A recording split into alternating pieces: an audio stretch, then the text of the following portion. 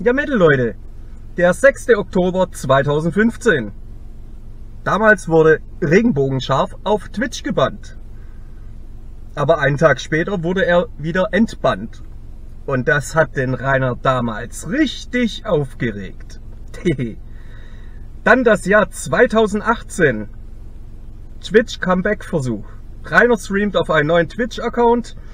Dieser durfte eigentlich nicht, weil wir wissen ja damals Ezio und mit dem Wort.